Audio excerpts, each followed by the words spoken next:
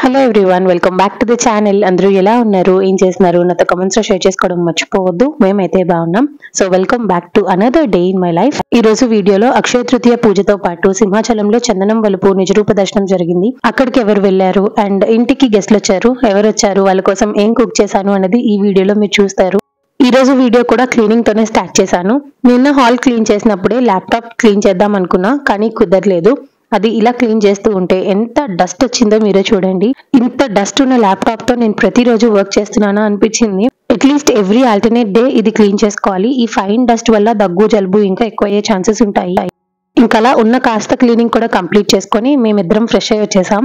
ఈ రోజు తొందరగానే లేచాను బికాజ్ అక్షయ తృతీయ పూజ చేసుకోవాలి అండ్ ఇంటికి గెస్ట్లు వస్తున్నారు కాబట్టి వాళ్ళ కోసం లంచ్ ప్రిపేర్ చేయడం ఈ హడావిడి అంతా ఉందని చెప్పేసి బట్ మార్నింగ్ బ్రేక్ఫాస్ట్ చేయను కాబట్టి ఇలా ప్రోటీన్ తీసుకోవడం స్టార్ట్ చేశాను. ఇది తీసుకొని ఒక టూ త్రీ డేస్ అవుతున్నట్టుంది. పెద్ద చేంజ్ ఏం నాకు కనిపించలే ఇది డాక్టర్ రికమెండ్ చేసింది. ఒక వన్ మంత్ యూస్ చేసిన తర్వాత దీని రిజల్ట్ నేను మీకు నెక్స్ట్ వీడియోస్లో షేర్ చేసుకుంటాను. ఈ రోజు వైజాగ్లో ఉన్న వాళ్ళందరికీ ఒక పెద్ద పండగ.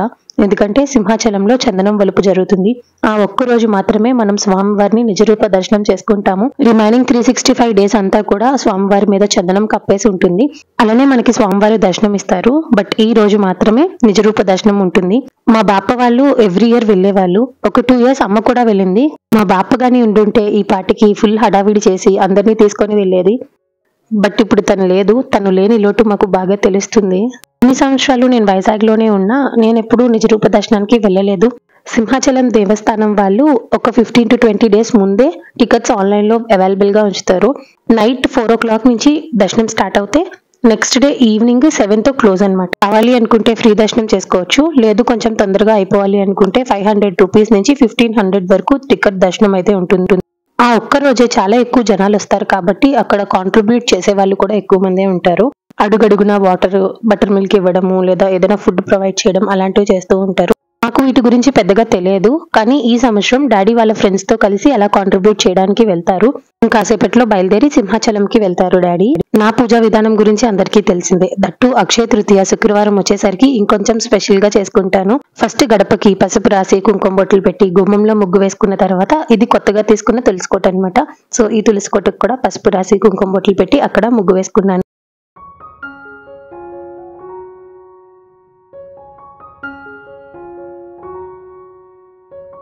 ఈ లోపు వీడు రెడీ అయిపోతున్నాడు. ఎక్కడికి అంటే డాడీతో పాటు సింహాచలం వెళ్తాడంట. డాడీ వీడిని ఒక్కడినే బయటికి తీసుకెళ్ళేంత సాహసం చేయరు. కానీ ఆ రోజు సడన్గా నేను వస్తాను తాతయ్య అనేసరికి ఆయన కూడా ఓకే అన్నారు. వాళ్ళ తాతయ్య ఒప్పుకోవడమే లేట్. వీడు విత్ ఇన్ సెకండ్స్లో రెడీ అయిపోయి వచ్చేసాడనమాట. ఇప్పుడు తాత మనవడు ఇద్దరు కలిసి సింహాచలం వెళ్తారు. చూడాలి మరి అక్కడ ఎంత హడావిడి చేస్తాడో. అదే పనిగా చెప్పాను. అలా చేయకు తాతయ్య చేపట్టుకునే ఉండు ఎక్కువ మంది జనాలు ఉంటారు. ఇలా అన్ని పాయింట్స్ చెప్పి వాడిని ఓకేనా అంటే I can handle it mummy అన్నాడు. అంతకన్నా అదృష్టం ఇంకేమైనా ఉంటుందా? నిజరూప దర్శనం రోజు స్వామివారి దర్శనానికి వెళ్ళకపోయినా అక్కడ వచ్చిన జనాలకి ఏ ఆటంకం లేకుండా వాటర్ ఫుడ్ అందించడం అంత అదృష్టం ఇంకెక్కడ ఉండదు. సరే ఇంకా అని చెప్పేసి వాళ్ళ తాతయ్యతో పాటు పంపించాను. ఇంకా వాళ్ళు వెళ్ళిన తర్వాత నేను ఇంట్లో పూజ చేసుకోవడం స్టార్ట్ చేసా. అక్షయ తృతీయ రోజు చాలా మంది గోల్డ్ పర్చేస్ చేస్తారు కదా. అలా గోల్డ్ తీసుకోకపోయినా పర్వాలేదంట కానీ దానం చేస్తే చాలా మంచిదంట. నేను రీసెంట్ గానే తెలుసుకున్నాను. ఈ రోజు పూజలో కామాక్షి దీపంతో పాటు గోవింద నామాలతో ఉన్న దీపం కూడా పెట్టాలి అనుకున్నాను. లాస్ట్ ఇయర్ ఏడు శనివారాల వ్రతం చేసేటప్పుడు ఈ దీపం తీసుకున్నాను. అది ఆన్లైన్లో కాదు ఆఫ్లైనే. Cost six hundred and fifty rupees. ఈ రోజు అక్షయ తృతీయ కాబట్టి కుబేర కొంచెం కూడా అరేంజ్ చేసుకున్నాను. ఇంకా ఇక్కడ నా చేతిలో మీరు చూస్తున్నది వచ్చేసి అన్నపూర్ణాదేవి విగ్రహం. ఇది నేను కాశీ వెళ్ళినప్పుడు అక్కడ అన్నపూర్ణాదేవి టెంపుల్ దగ్గర తీసుకున్నాను. ఒక ఫైవ్ ఇయర్స్ బ్యాక్ కరెక్ట్గా ఇదే టైంకి. అంటే ఇంకొక వన్ వీక్లో ఎలక్షన్స్ ఉన్నాయి అనగా మేము కాశీ ప్రయాణం అయ్యాము. సో కాశీ ప్రయాణం అంతా కంప్లీట్ చేసుకొని వైజాగ్ రీచ్ అయిన నెక్స్ట్ మినిటే వెళ్ళి ఓటు వేసి వచ్చారు మా ఫ్యామిలీ అంతా. ఆ టైంకే నాకు ఓటు హక్కు వచ్చింది. కాకపోతే నేను అప్పుడు ఓటర్ ఐడికి ఏమీ అప్లై చేయలేదు. అప్పుడు నిజం చెప్పాలంటే అంత అవేర్నెస్ కూడా లేదు. బట్ ఈ ఇయర్ అందరికీ ఒక అవేర్నెస్ అయితే వచ్చింది. మోస్ట్ ఆఫ్ ద పీపుల్ బయట ఊర్లో ఉన్నా సరే హోమ్ టౌన్కి ట్రావెల్ చేసి మరీ ఓటు వేశారు ఈ year. And this year I also casted my vote ఇంకా మీతో మాట్లాడుతూ నేను పూజ కూడా స్టార్ట్ చేశాను.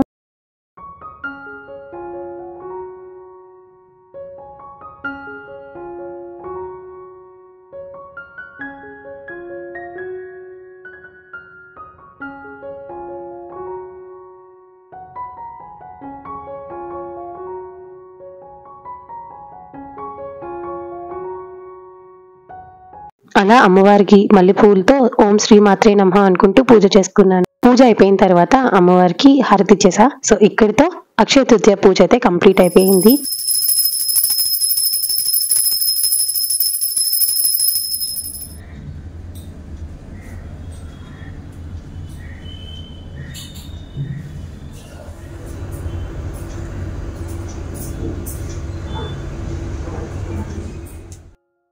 అమ్మవారిని చూస్తూ పూజ చేసుకున్నప్పుడు పట్టీలు పెట్టుకోవాలి అనిపించింది సడన్గా. నా దగ్గర పట్టీలు ఉన్నాయి అవి లూజ్ అయిపోయాయని మొన్న ఆల్టర్ చేయించాము ఆ తర్వాత పెట్టుకోలేదు. ఎందుకనో సడన్గా పట్టీలు పెట్టుకోవాలి అనిపించేసరికి అమ్మని అడిగాను తను ఇస్తే ఇలా పట్టీలు పెట్టుకున్నాను అనమాట పట్టీలు పెట్టుకున్నా సరే మరి చేతికి ఎందుకు గాజులు వేసుకోలేదని మాత్రం అడగద్దు.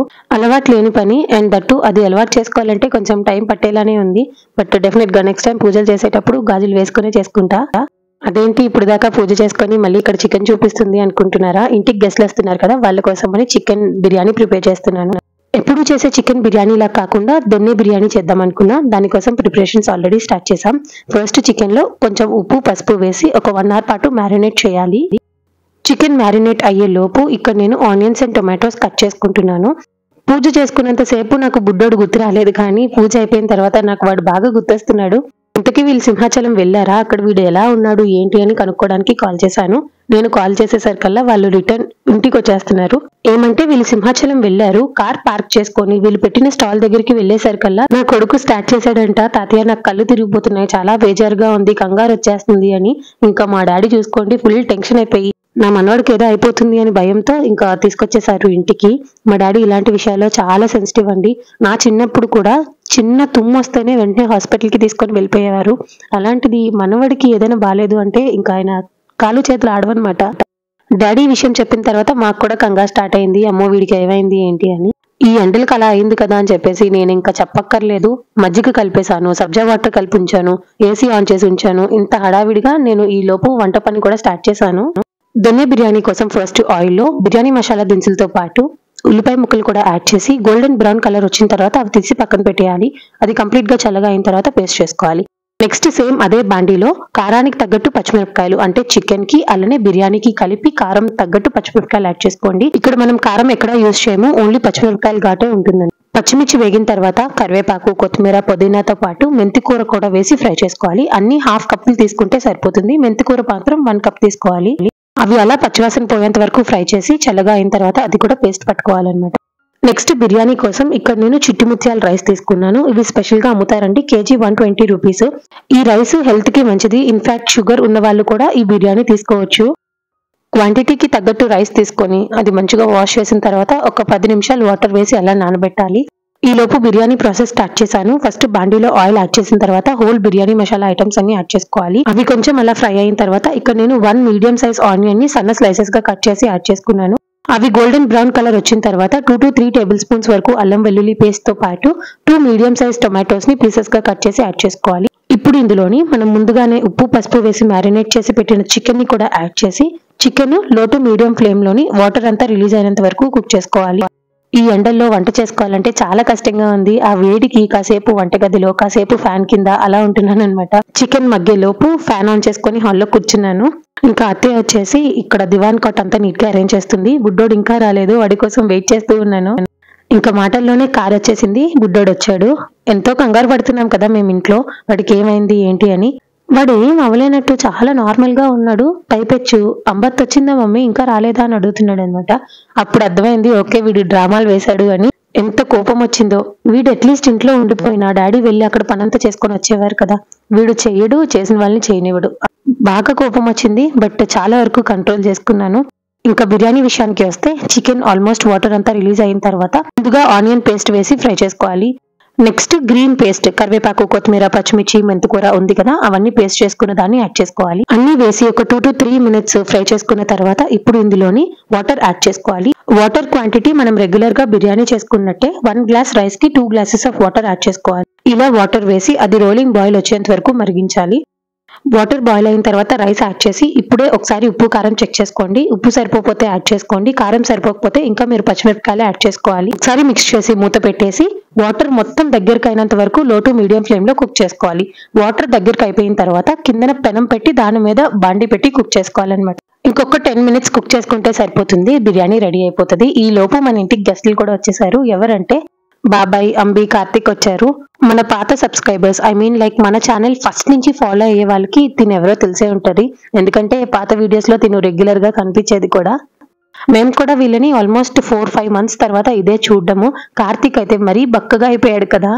అలా వాళ్ళు వచ్చిన తర్వాత కాసేపు మాట్లాడుకొని అందరం కలిసి ఇంకా లంచ్ చేసేసాం. ఇంతకీ బిర్యానీ ఎలా వచ్చిందో మీకు చూపించలేదు కదా చూపిస్తాను చూడండి. సో ఫైనల్గా దొన్నె బిర్యానీ రెడీ అయిపోయింది. నార్మల్ బిర్యానీస్ మనం తింటే కొంచెం తిన్నా కూడా కడుపు నిండిపోయినట్టు ఉంటుంది కదా. బట్ ఈ దొన్నె బిర్యానీ ఎంత తిన్నా చాలా లైట్గా అనిపిస్తుంది. కడుపు చాలా ప్రశాంతంగా ఉంటుంది. మనం రెగ్యులర్గా చేసుకునే చికెన్ దమ్ బిర్యానీ చికెన్ పలావ్ కన్నా ఈ దొన్నె బిర్యానీ టేస్ట్ ఇంకా బాగుంటది. చాలా రిచ్ ఫ్లేవర్తో ఉంటది ఒకసారి ఇంకా ఎవరైనా ట్రై చేయకపోతే ట్రై చేయండి. మీ అందరికీ డెఫినెట్గా నచ్చుతుందని అనుకుంటున్నాను. అలా లంచ్ చేసిన తర్వాత చాలా సేపు అలా ముచ్చట్లు పెట్టుకుంటూ కూర్చున్నాము. అదంతా వీడియో ఏమీ షూట్ చేయలేదు. ఇంకా evening around five thirty six అవుతుంది. ఇప్పుడు అంబి వాళ్ళు బయలుదేరిపోయారు. ఇది ఉన్నంత సేపు ఇల్లు చాలా హడావిడిగా గోలా గందరగోళంగా ఉంటుంది. బట్ తిను వెళ్ళిపోయిన తర్వాత ఇల్లు చాలా కామ్ అయిపోయి లిటరల్గా చిన్నప్పుడైతే ఏడ్ చేసేదాన్ని నేను. సమ్మర్ హాలిడేస్కి వైజాగ్ వస్తే కనీసం ఒక టూ త్రీ డేస్ అయినా ఉండి వెళ్ళేది. కాకపోతే ఈసారి ఉండడం కుదరట్లేదు. అందుకనే ఇంకా వెంటనే బయలుదేరిపోయారు. ఓటు వేయడానికని మెయిన్ వచ్చారనమాట ఇంకా ఓట్ అయిపోయింది. మీరు ఈ వీడియో చూసేసరికల్లా అంబి వాళ్ళు హైదరాబాద్ వెళ్ళిపోయి ఉంటారు.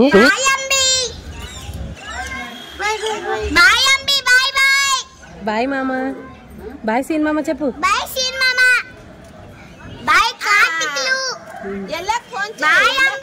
అంబిక కన్నా వీడేదో పెద్దలాగా దాన్ని అంబి అని పిలుస్తున్నాడు. అమ్మో నా కొడుకు కానీ మామూలు అల్లరోడు కాదు. ఇంకా అలా సమ్మర్ హాలిడేస్కి అంబి వాళ్ళు వచ్చారు. మళ్ళీ ఇప్పుడు వాళ్ళ అత్త ఇంటికి వెళ్ళిపోతున్నారు. ఇంకా ఈవినింగ్ నేను అమ్మ డాడీ బయలుదేరి జోసాలుకాస్కి వచ్చాం. ఏమంటే అక్షయ తృతీయ రోజు ఏదైనా గోల్డ్ ఐటమ్ తీసుకుంటే మంచిది అంటారు కదా. ప్రస్తుతానికి గోల్డ్ మీద ఇన్వెస్ట్ చేసే అంత బడ్జెట్ లేదు. అట్లీస్ట్ పూజకి సంబంధించి ఏదైనా సిల్వర్ ఐటమ్ తీసుకోవాలి అనుకున్నాను. ఎప్పటి నుంచో ఏనుగులు తీసుకోవాలి అని ప్లాన్. కంప్లీట్ యాంటిక్ ఫినిష్ వచ్చిన ఏనుగులు అయితే మాత్రం ఒక్కొక్కటి ఇరవై వేలు ముప్పై వేలు అలా చెప్తున్నారు. అసలు బడ్జెట్ లేదు. సో ఉన్న సిల్వర్ ఐటమ్స్లలో అన్నిటికన్నా ఈ ఏనుగుల డిజైన్ బాగా నచ్చి రెండు తీసుకున్నాను. కాస్ట్ అయితే ఎయిట్ థౌజండ్ అలా అయింది. అక్షయ తృతీయ రోజు గోల్డ్ తీసుకుంటే మంచిదనే విషయం తెలుసు కానీ ఎప్పుడు మేము తీసుకున్నది లేదు. కానీ ఇదే ఫస్ట్ టైం సిల్వర్ ఐటమ్ తీసుకోవడము. ఇంటికి వచ్చిన తర్వాత పొద్దున్న పూజ చేసిన దగ్గరే అమ్మవారికి అటు ఇటు ఏనుగులు పెట్టమని బుడ్డోడికి చెప్పాను. లక్ష్మీ అమ్మవారికి అటు ఇటు ఏనుగులు పెట్టేసరికి చాలా నిండుగా కనిపించారు. సో చూసారు కదా అక్షయ తృతీయ పూజ బుడ్డోడు చేసిన హడావిడి మా ఇంటికి వచ్చిన గెస్ట్లు వాళ్ళ కోసం ప్రిపేర్ చేసిన లంచ్. సో ఇలా చాలా హడావిడిగా మా డే అయితే గడిచింది. ఐ హోప్ మీకు ఈ వీడియో నచ్చిందని అనుకుంటున్నాను. ఈ వీడియో కనుక మీకు నచ్చినట్టయితే లైక్ చేయండి మీ ఫ్రెండ్స్ అండ్ ఫ్యామిలీకి షేర్ చేయండి. అండ్ కమెంట్ చేయడం మర్చిపోవద్దు. అలానే మీరు ఇంకా మన ఛానల్ని సబ్స్క్రైబ్ చేసుకోలేదు అంటే వెంటనే వెళ్ళి సబ్స్క్రైబ్ చేసుకొని పక్కనే ఉన్న bell icon all on option కనుక క్లిక్ చేసినట్టయితే నేను ప్రతిరోజు పెట్టే వీడియో నోటిఫికేషన్స్ అన్ని మీ వరకు వచ్చేస్తాయి. నెక్స్ట్ చాలా మంచి ఫ్యామిలీ వ్లాగ్స్ పూజ వీడియోస్ రాబోతున్నాయి. So stay tune to our channel and thank you all so much for watching this video till the end so చూసారు కదండి ఇది వాళ్ళ వీడియో మళ్ళీ నెక్స్ట్ వీడియోలో కలుద్దాం. అంతవరకు బాయ్